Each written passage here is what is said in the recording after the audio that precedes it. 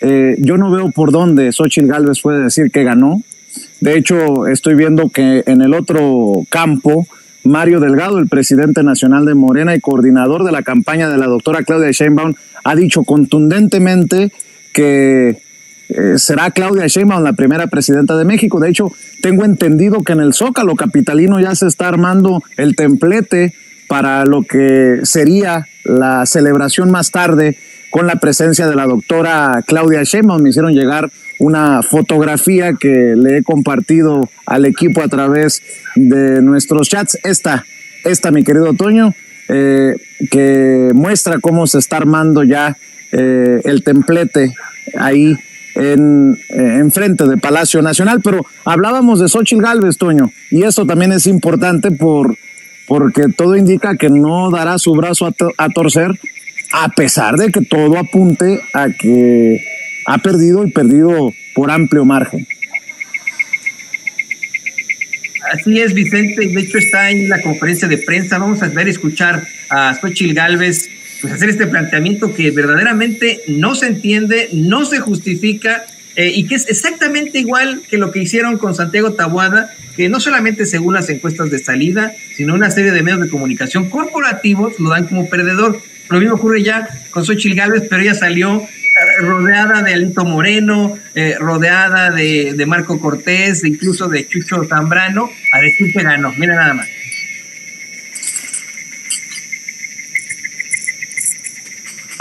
Queridas. Bueno, bueno.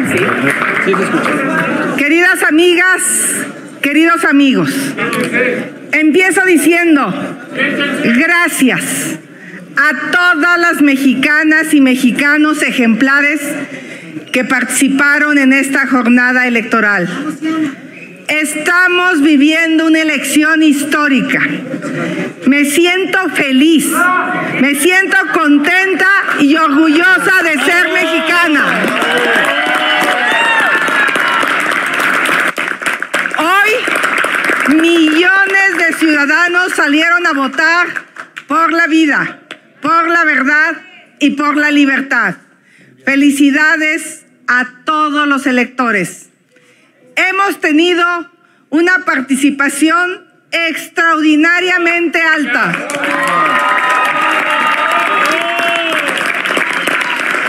Ha sido conmovedor ver las largas filas de ciudadanos esperando horas bajo el sol para votar. Yo misma Estuve tres horas formada en mi casilla para poder votar. Gente en sillas de ruedas, abuelas, abuelos, hijos, hijas, nietas, nietos, todos felices, todos contentos, todos con un enorme amor por México. Despertamos un movimiento cívico a favor de la vida, la verdad y la libertad, también a favor de la democracia.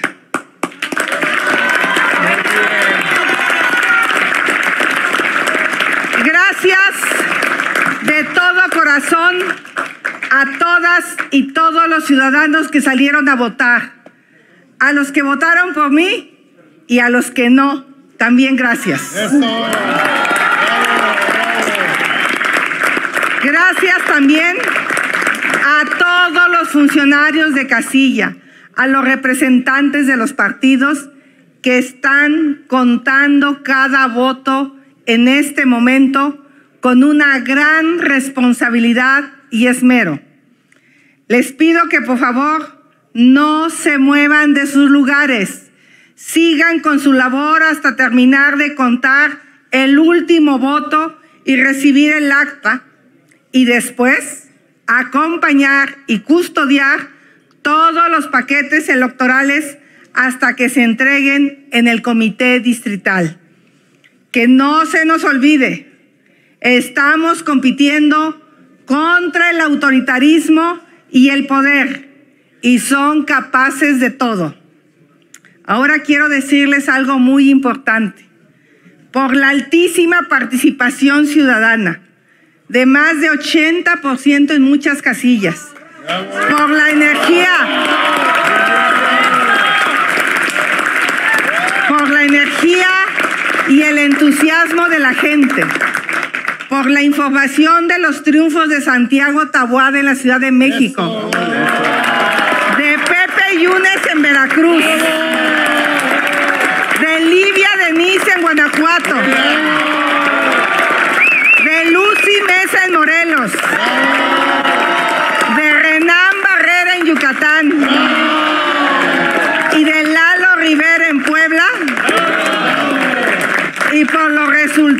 De muchas elecciones para alcalde y para el poder legislativo, por esos resultados está claro que ya ganamos.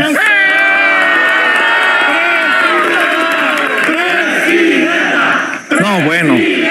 Hay que decir, Toño, que es de una irresponsabilidad brutal lo que acaba de decir eh, Xochil Gálvez, porque estoy viendo que el financiero proyecta ya también como ganadora a Claudia Sheinbaum. Estoy viendo que Encol, mira aquí está precisamente lo que menciono del el financiero, y que Encol para el periódico El País da una amplia victoria a Clara Brugada de acuerdo a las encuestas de salida.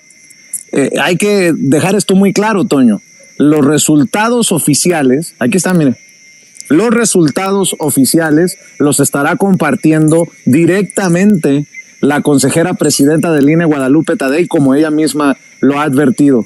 Pero de ahí a que Xochitl Gálvez declare que ganaron todas las gubernaturas, de ahí a decir que basado en los resultados estos, que todo parece indicar que, que tiene otros datos, Xochitl Galvez, no sé cuáles, eh, hasta Massive Caller le da eh, ventaja en las encuestas de salida a Clara Brugada en la Ciudad de México, pues no sé, no sé cómo pueda llegar a decir que ya gana. Bueno, en palabras de ella, no textuales, ya ganamos, ¿no? No, no, y peor de todo, o sea, fíjate, la mayoría de las encuestas de salida no dan como ganadores a los candidatos del PRIAN en el resto de los estados tampoco. Es algo que ya se comprobó, que han estado exhibiendo en los mismos medios de comunicación corporativos, en las encuestas de salida. Hemos visto cómo es que solamente está muy competida y los números están, eh, tal vez no, no benefician a Morena en Guanajuato, pero en el resto de los estados llevan, como lo decía Mario Delgado, carro completo. Eh, me parece verdaderamente de una abyección terrible que esta vaya a ser la jugada ahora de la oposición. Eh, la jugada de la oposición va a ser negar los, los resultados como se lo sugirió el eh, muy racista y clasista de Jorge Castañeda. Pero fíjate, Castañeda le sugería esto en caso de que hubiera sido una elección muy competida en la que se quedaran a un punto porcentual. Estamos hablando de aproximadamente 20 puntos, lo que estaría sobrepasando la doctora Claudia Sheinbaum a, Xochitl Galvez y ni se diga obviamente de las de los estados, ¿no? O sea, ya es, es una realidad, una claridad, eh, eh, pero a mí lo que me preocupa es que en este tipo de circunstancias en los que la oposición o en los que otro partido no concede las elecciones, esto puede provocar eh, definitivamente problemáticas entre sus seguidores y eso, pues vamos, no se recomienda en ningún país. se tiene que tener la suficiente congruencia, eh, la suficiente decencia para, como en las elecciones pasadas, salir, ¿saben qué? Pues sí puedo ser yo un pillo llamado Ricardo Anaya, pero reconozco que ganó Andrés Manuel López Obrador. Pues sí puedo ser un pillo José Antonio Mid, pero reconozco que, ganó Andrés Manuel López Obrador. Imagínate que, se que tienen entre ellos a los más pillos de los pillos, como para que ahora esta sea la estrategia, Vicente.